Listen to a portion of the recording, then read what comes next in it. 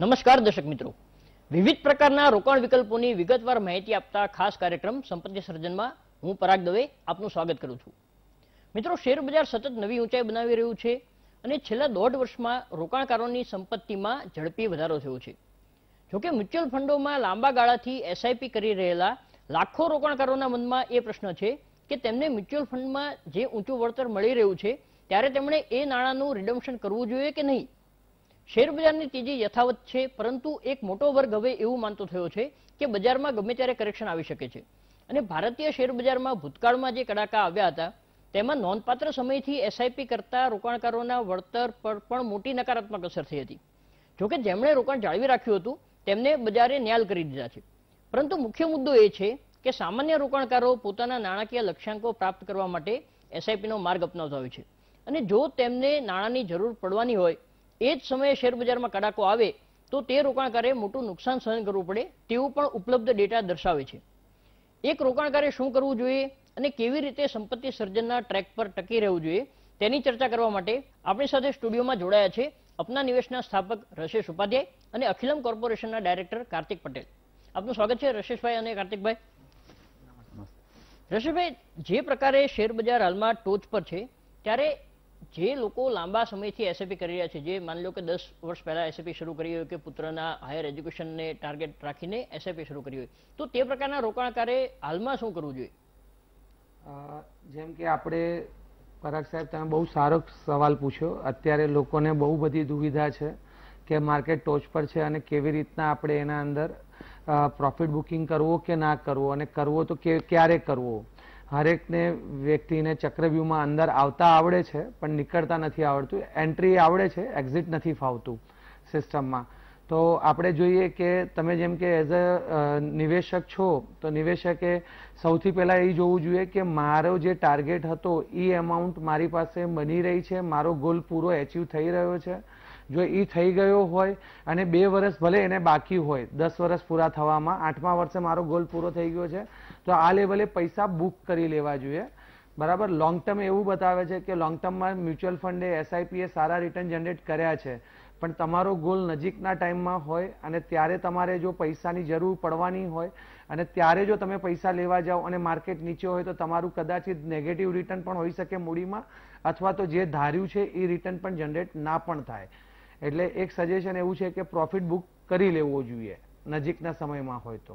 Right એટલે market all time high છે ત્યારે રશેશભાઈ જે વાત કરી, બહુ સરસ વાત છે કે ગ્રીડ એન્ડ ફિયર આ બંને માર્કેટને હંમેશા ડ્રાઈવ કરતા હોય છે. તમને તમારો ટાર્ગેટ એચીવ થઈ ગયો, પરંતુ તેમ છતાં અનેક રોકાણકારો એવું વિચારતા હોય છે કે હજુ વધુ ઊંચું વળતર મળવાની શક્યતા છે, તેથી તેઓ એક્ઝિટ નથી થતા. એટલે જે પ્રકારે માર્કેટમાં એન્ટ્રી માટેના સલાહ આપનારા અનેક સલાહકારો છે, પરંતુ એક્ઝિટ ક્યારે લેવી? એ દરેક વ્યક્તિએ પોતાની નાણાકીય સ્થિતિ અને પોતાના નાણાકીય ટાર્ગેટને ધ્યાનમાં રાખીને સ્વતંત્ર નિર્ણય લેવો જોઈએ કે હાલનો સમય બજારમાંથી એક્ઝિટ લેવાનો છે કે કેમ? કાર્તિકભાઈ જે પ્રકારે માર્કેટ વધ્યું છે, તમે ઘણા વર્ષોથી મ્યુચ્યુઅલ ફંડ ડિસ્ટ્રીબ્યુશનમાં સક્રિય છો, તો તમારી પાસે એવા લાઈવ એક્ઝામ્પલ્સ પણ હશે. તો જનરલી શું થતું હોય? જ્યારે બજારમાં એક નવી ટોચ બનતી હોય છે, ત્યારબાદ કરેક્શન આવતું હોય છે, તો એ સમયે જે સામાન્ય રોકાણકાર, નાના રોકાણકારો છે એસઆઈપી દ્વારા પોતાના ટાર્ગેટ એચીવ કરવા માંગતા હોય છે, તો એમની સાથે કેવા પ્રકારની સ્થિતિ સર્જાય છે પછી? પરાગભાઈ અત્યારે તમારો સવાલ આ બહુ વેલિડ છે. એક નવી ટોચ સર્જાઈ છે બજારમાં અને હજુ આનાથી વધુ નવી ટોચ બનશે એવી આપણે સૌ અપેક્ષા રાખીએ. પણ નાના રોકાણકારે એક વસ્તુ નક્કી કરવી ગોલ બેઝ એસઆઈપી કરવી જોઈએ. અને દરેક જણની દુવિધા હોય છે કે ભાઈ આપણે ઇન્વેસ્ટ કર્યું, પણ એક્ઝિટ ક્યારે કરવું? પૈસા નીકળવા ક્યારે? તો એ તમારો ગોલ તમે ચિલ્ડ્રન એજ્યુકેશન છે હાયર એજ્યુકેશન છે, તમે કોઈ ઘર બનાવવા માંગો છો એસેટ બનાવવા માંગો છો, અને એ દરમિયાન જો આ ટોચ આવે અને તમારી મૂડી એ તમે જે ટાર્ગેટ કરેલ મૂડી તરફ પહોંચી હોય, તો મારા હિસાબે ચોક્કસ એને એકવાર વિડ્રો કરી લેવું જોઈએ પ્રોફિટ બુક કરી અને એસેટ ક્લાસ બદલી નાખો. કાં તો તમે એને લિક્વિડ ફંડમાં મૂકી દો ડેટ ફંડમાં મૂકી દો. પછી ભલે તમે તમારી એસઆઈપી ભલે આવનારા વર્ષો માટે શરૂ ચાલુ રાખો પણ અત્યારે ચોક્કસ એકવાર પ્રોફિટ બુક કરી લેવો જોઈએ. રાઈટ તમારા જેમ એવો કોઈ કોઈ વ્યક્તિઓના કિસ્સા છે જે જે આપણે એક્ઝામ્પલ દર્શકોને આપી શકીએ કે વ્યક્તિને ઊંચું વળતર મળતું હોય પરંતુ તેમ છતાં જે તમે કહ્યું ગ્રીડ તો એટલે વધુ ઊંચા વળતરની લાલચે એ ઇન્વેસ્ટેડ રહ્યા હોય અને માર્કેટમાં કડાકો આવ્યો કોઈ એ પ્રકારના કિસ્સા જો તમારા ધ્યાનમાં હોય તો જણાવો જેથી દર્શકોને એક ઉદાહરણ મળી શકે કે આ પ્રકારની સ્થિતિ પણ માર્કેટમાં બનતી હોય છે. હંમેશા શેર બજાર ઊંચું જ વળતર આપે એવું નથી હોતું. બહુ સાચી વાત છે. જેમ કે એસબીઆઈ ઇન્ડેક્સ ફંડ બે હજાર અગિયારની અંદર જ્યારે સ્ટાર્ટ કરવામાં આવ્યું ઇન્વેસ્ટમેન્ટ કસ્ટમરે ઇન્વેસ્ટમેન્ટ કર્યું અને માર્ચ બે હજાર વીસની અંદર જ્યારે માર્કેટે બોટમ બનાવ્યું એપ્રિલ બે હજાર વીસની અંદર સૌથી નીચેની બોટમ બની જ્યારે બેતાલીસ હજારનું સેન્સેક્સ એકવીસ હજાર પર આવી ગયું. અને તે દિવસે જે રોકાણકાર છવ્વીસ હજાર આઈ થિંક છવ્વીસ પાંચસો. હા યસ યસ સોરી છવ્વીસ હજાર પાંચસો પર માર્કેટ નીચે આવી ગયું અને જ્યારે બોટમ બન્યું, ત્યારે જે બે અગિયાર વર્ષ એટલે નવ વર્ષ જે લોકોએ રોકાણ કર્યું, એનું જે રિટર્ન બે હજાર ફેબ્રુઆરીમાં જેનું રિટર્ન બારથી તેર ટકા હતું, એ રિટર્ન એક પર્સન્ટ પર રિટર્ન જનરેટ થઈ ગયું. આવી પરિસ્થિતિ બજારમાં થાય અને તમારા ગોલને તમને એચીવ કરવા માટે પૂરી પણ ના થાય. પણ જે બે હજાર વીસમાંથી બે હજાર એકવીસ સુધી કન્ટિન્યુ થયો, એનું પાછું રિટર્ન એવરેજ રિટર્ન ચૌદ ટકા રિટર્ન છે. એટલે એવું કહી શકાય કે ઓપોર્ચ્યુનિટી માર્કેટમાં અનસર્ટેનિટી પણ ક્યારે પણ થઈ શકે. કોરોના જેવી પરિસ્થિતિ, અફઘાનિસ્તાનની અત્યારે જે પ્રમાણે ચાલી રહી છે એવી અનસર્ટેનિટી થાય, ત્યારે કસ્ટમરને ખબર નથી કે ક્યારે શું થશે. અને તે વખતે એક્ઝિટ કરવાનું પણ ઓપ્શન નથી મળતું. એટલે જ્યારે જ્યારે તમને પ્રોફિટ બુકિંગ કરવાનું અને તમારા ટાર્ગેટને નજીક હોય, તો એક વખત પ્રોફિટ બુકિંગ કરી અને ઘરે લઈ જવો, આ અમારી પર્સનલ રિક્વેસ્ટ છે. અથવા તો તમારા સારા એડવાઇઝર સાથે તમારે બેસી અને એ વસ્તુનું ડિસ્કશન કરીને ક્લિયર કરવું જોઈએ. રાઈટ તો શેર બજારમાં રોકાણ કરતા રોકાણ કરવું એ બાબત જાણે છે કે દરેક મ્યુચ્યુઅલ ફંડ દ્વારા પણ એ લોકોને એક પ્રકારનો સંદેશ આપવામાં આવતો હોય છે કે મ્યુચ્યુઅલ ફંડ રોકાણ એ જોખમોને આધીન છે. તમે જો એની એડવર્ટાઇઝમેન્ટ જોઈએ તો તેમાં પણ સ્પષ્ટ લખેલું છે. પરંતુ હાલમાં સ્થિતિ એ છે કે લોકોને એમ લાગે છે કે શેર બજારમાં સતત ઊંચું વળતર મળતું જ રહે છે. જોકે ઊંચું વળતર મળે તેવી પૂરી શક્યતા છે કારણ કે ભારતીય અર્થતંત્ર અત્યંત મજબૂતીથી વૃદ્ધિ પામી રહ્યું છે. પરંતુ અનેક પડકારો પણ માર્કેટ સામે છે અને જ્યારે સામાન્ય રોકાણકારે પોતાનો નાણાકીય ટાર્ગેટ એક શિસ્તબદ્ધ રોકાણ દ્વારા જો સિદ્ધ પ્રાપ્ત કર્યો હોય, તો તે નાણાં ગુમાવે નહીં તે આપણો હેતુ છે તે માટે આપણે આ વિષયની ચર્ચા કરી રહ્યા છીએ. તો કાર્તિકભાઈ, જો કોઈ વ્યક્તિ હાલમાં વિચારી રહ્યો જેમણે સળંગ દસ વર્ષ એસઆઈપી કરી હોય, હાલમાં ઘણું સારું વળતર મળી રહ્યું હોય, તો તેમની પાસે એક્ઝિટ માટે કયા કયા વિકલ્પો ઉપલબ્ધ છે? તેઓ કઈ રીતે રિડમ્શન કરી શકે? કઈ રીતે એ નાણાંને અન્ય ફંડોમાં લિક્વિડ ફંડોમાં કે જેમાં જોખમ નથી હોતું અથવા તો એસટીપી નો માર્ગ એ કઈ રીતે કરવું જોઈએ? હા, એટલે બહુ સરસ તમે ઇન્ટરેસ્ટિંગ આ પ્રશ્ન પૂછ્યો છે કે એક્ઝિટ કઈ રીતે કરવું? હવે એ તમારે ઇન્ડિવિજ્યુઅલ તમારા પર જાય છે કે પહેલાં તો તમે એક્ઝિટ કર્યું તો તમારે એસેટ ક્લાસ બદલી નાખવો છે. તો તમે એસેટ ક્લાસ બદલીને કાં તો એને તમે રિયલ એસ્ટેટમાં જઈ શકો છો ગોલ્ડમાં જઈ શકો છો, બીજા કોઈમાં જઈ શકો છો. અચ્છા, તમને એમાં ને એમાં મ્યુચ્યુઅલ ફંડમાં બી એના વિકલ્પ આપવામાં આવે છે કે ઇક્વિટીમાંથી મેં પ્રોફિટ બુક કરીને હું લિક્વિડ ફંડમાં કે ડેટ ફંડમાં મૂકી દઉં કે જ્યાં તમારી નાણાંની નાણાં ઓછા થવાની શક્યતાઓ ઓછી હોય છે. ઇક્વિટી માર્કેટમાં હંમેશા બજાર વોલેટિલિટી સાથે તમે તમારા મૂડી ઓછી અથવા વધુ થતી હોય છે. પણ લિક્વિડ અને ડેટમાં એ તમારા નાણાં સ્થિર અને જોખમ મુક્ત હોય છે. તો એમાં પણ તમે જઈ શકો છો. તો આ રીતે તમે સ્વિચ કાં તો એમાં એવી રીતે બી ઓપ્શન થઈ શકે કે તમારા હંડ્રેડ પર્સન્ટમાંથી તમારો પ્રોફિટ બુક કરીને તમે પચાસ ટકા લિક્વિડ ફંડમાં મૂકી શકો, પચાસ ટકા બીજે ક્યાંક તમે ઉપાડીને બીજા કોઈ એસેટ ક્લાસ લઈ શકો. આ બધું ઇન્ડિવિજ્યુઅલ ઇન્વેસ્ટરના પોતાના ગોલ પ્રમાણે અને એ રીતે આગળ એક્ઝિક્યુશન એકવાર તમારા એડવાઇઝર સાથે બેસીને ચર્ચા કરીને કરવું જોઈએ, તો વધુ સારું એમાં તમે પરિણામ મેળવી શકશો. ચોક્કસ. તો તમારા જે નાણાકીય એડવાઇઝર હોય જે ડિસ્ટ્રીબ્યુટર હોય તેમની સાથે તમે ચર્ચા કરી શકો છો અને કઈ રીતે તમારો એક્ઝિટ પ્લાન બનાવો તેનું પણ આયોજન કરી શકો છો. રશેશભાઈ જે એસટીપી નો વિકલ્પ છે એ કઈ રીતે આ સમયે રોકાણકારો ઉપયોગમાં લઈ શકે અને કઈ રીતે જો શક્ય હોય તો એસઆઈપી ની એમાઉન્ટ વધારી પણ શકે? થેન્ક યુ એના પહેલા તમારા સવાલનો જવાબ આપતા પહેલા હું એક વસ્તુ કહેવા માંગુ છું કે કેમ માર્કેટ આજે આપણને બધાને ડર લાગે છે? આપણે એવું જોઈએ કે ઇન્ડિયાની જીડીપી ટોટલ બે પોઈન્ટ છાસઠ ટ્રિલિયનની છે. એની સામે માર્કેટ કેપિટલ માર્કેટની કેપિટલ સાઇઝ આજની તારીખમાં જોઈએ. જુલાઈ મહિનાના એન્ડના ડેટા તો થ્રી પોઈન્ટ ઝીરો ટુ ટ્રિલિયનની થઈ ગઈ છે.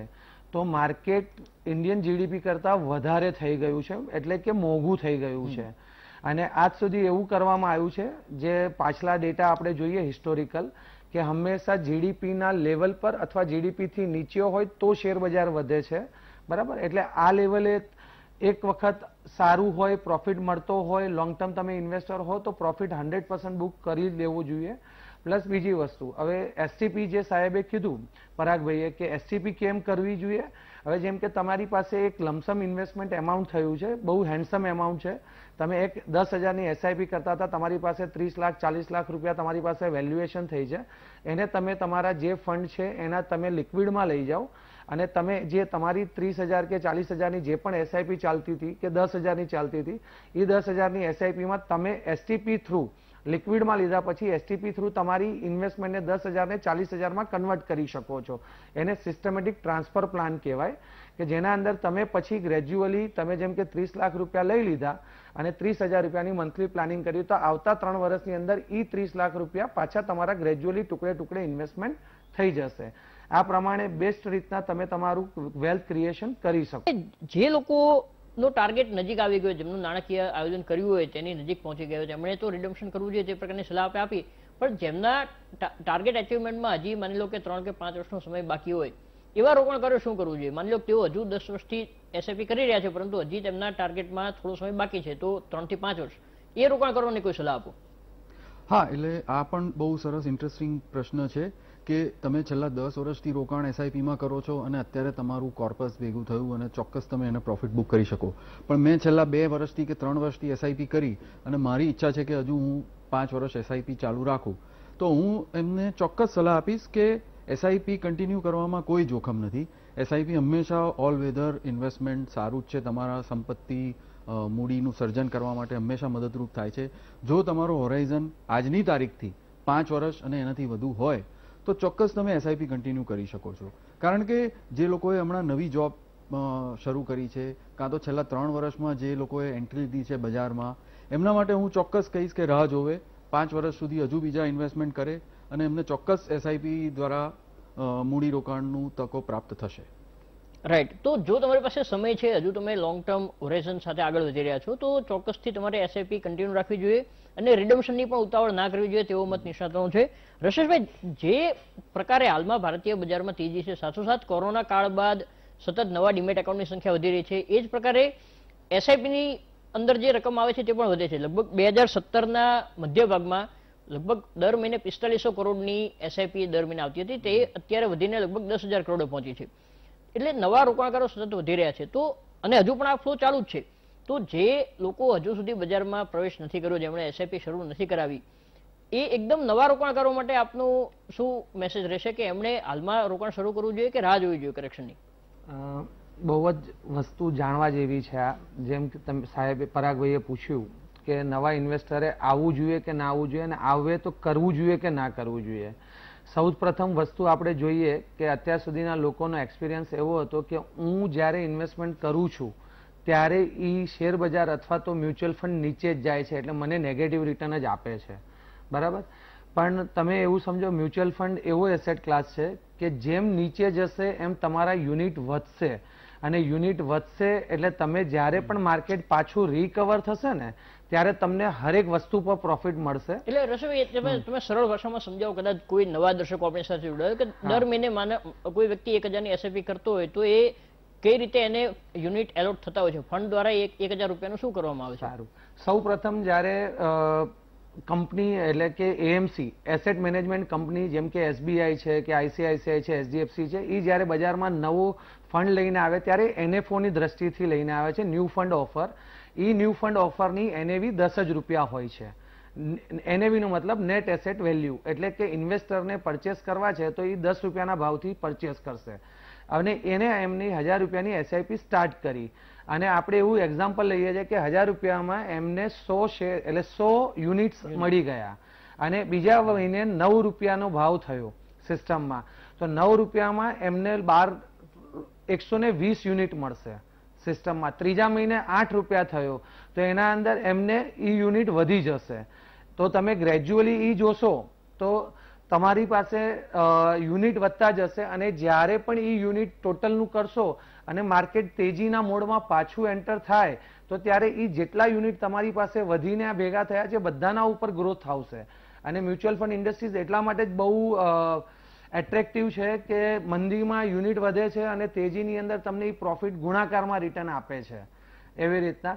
અને જ્યારે પણ મંદી હોય ત્યારે પૈસા પુટઅપ કરવા અને આપણે તો એઝ અ ઇન્વેસ્ટર એવું જ વિચારવાનું કે હું આજે ઇન્વેસ્ટ કરું છું ને કાલથી મંદી ચાલુ થાય. રાઈટ તો દર્શક મિત્રો, સીધી વાત એ છે કે તમે જ્યારે મ્યુચ્યુઅલ ફંડમાં રોકાણ કરો છો તો તમને એક સર્ટેન યુનિટ મળતા હોય છે. તે યુનિટનો ભાવ છે જેને એનએવી કહેવામાં આવે છે.